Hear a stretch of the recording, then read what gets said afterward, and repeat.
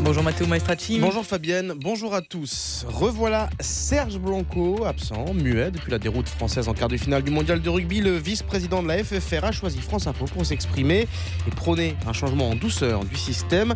Le carton de Saint-Etienne hier soir en Ligue Europa de football. Et puis Richard Gasquet, dernier français en liste au Masters 1000 de Paris-Bercy. Tsonga et Simon ont été éliminés hier comme Federer.